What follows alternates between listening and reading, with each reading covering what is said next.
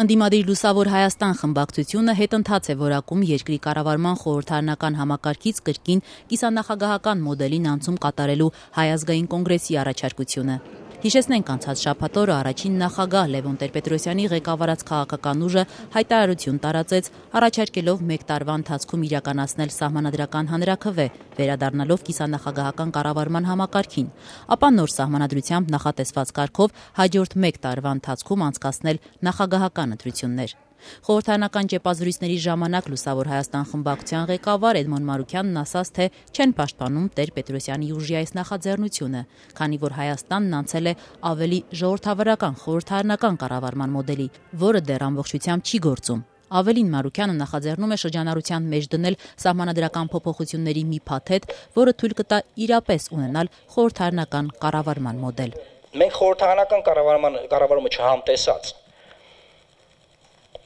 նորից հետ գնանք կիսանախագահական, ես կարծում եմ դա հետընթաց է եւ ես գտնում եմ, որ մենք պետք է առաջ գնանք, այսինքն այն խեղաթյուրված համակարգը, որ հիմա դրել են եւ սուպերվարչապետական սարքել, պետք է դրանից էլ առաջ շարժվենք եւ գնանք ամբողջական խորհրդանական կառավարման։ Ես դա գնահատում եմ հետընթաց, մեր կուսակցությունը այն ժամանակ էլ բազմաթիվ հայտարարություններով, հարցազրույցներով, ելույթներով ասել է, որ մենք պարլամենտական կառավարման այն է, եվրոպական մոդելի կառավարման կողմնակից ենք այս առումով եւ շարունակում ենք դա պնդել։ Բայց մեր մոտեցումն այն է, որ մենք շարժվենք առաջ ոչ թե յետ գնանք, որտեղ ես կարծում եմ կրկնում եմ, դա յետ ընթաց կլինի Հայաստանի համար, ել չգամ այն մտքին ու ասեմ, որ եթե չլիներ այս համակարգը հեղափոխություն չէ լինի եւ այլն եւ այլն եւ այլն։ Այսինքն սա ավելի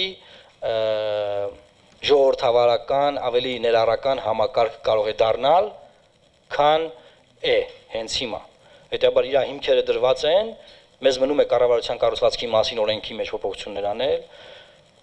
ազգային ժողովի կանոնակարգ սահմանադրական օրենքի մեջ փոփոխություններ անել եւ խորհրդարանական մակարդակում սահմանության մեջ փոփոխություններ անել խորհրդարանական ամենամեծ ընդդիմադիր ուժը Բարգավաճ Հայաստանը դեռևս չի քննարկել Լևոն Տեր-Պետրոսյանի ղեկավարած ուժի առաջարկը։ ԲՀԿ խմբակցության падգամավոր Միքայել Մելքումյանն ասաց, թե պետք է գնահատել բոլոր այն ռիսկերը, որոնք կարող են ի հայտ գալ կրկին կիսանախագահական մոդելին անցում կատարելու դեպքում։ Քանի որ արդեն իսկ մենք ուրեմն վարչապետական կամ խորհրդարանական երկիր ենք, պետք է քաղաքական եւ այլ տիպի նպատակահարմարությունները քննարկել, որ ինչ անել, որտեվ եթե միան նորից մենք հետ գանք, նորից փոփոխվի այդ ամեն ինչը, պետքա բոլոր ռիսկերը, բոլոր դրական եւ բացական խնդիրները քննարկենք։ Մենք չենք քննարկել, ուղղակի պետք է դրա նպատակահարմարությունը լրջագույն համակողմանի քննարկվի։ Իշխանական իմ քայլը խմբակցությունում երկրի կառավարման մոդելի փոփոխության հարց չեն քննարկել։ Խմբակցության падգամավոր ազգային ժողովի փոխնախագահ Լենա Նազարյանը շեշտեց. «Պատեհ պահին այդ հարցը կքննարկեն»։ Այդպես էր խուսափելով որևէ գնահատական հնչեցնել Հայ ազգային կոնգրեսի առաջարկի վերաբերյալ։ Սահմանադրական բարեփոխումները մեր օրակարգում են, սակայն պետության կառավարման մոդելի փոփոխության հետ կապված մենք քննարկումներ դեռ չենք ունեցել եւ պատեհ պահին կքննարկենք նաեւ այդ առաջարկը։ Այս պահին մենք չենք քննարկել այդ հարցը։ Ու ձեր դիտարկումը ինչպիսին է, քանի որ իսկապես շատ քաղաքական կարևոր որոշման մասին է խոսքը, մենք անպայման պետք է թիմային քննարկում ունենանք, ես այստեղ անձնական մեկնաբանություններ չէի ուզի տալ։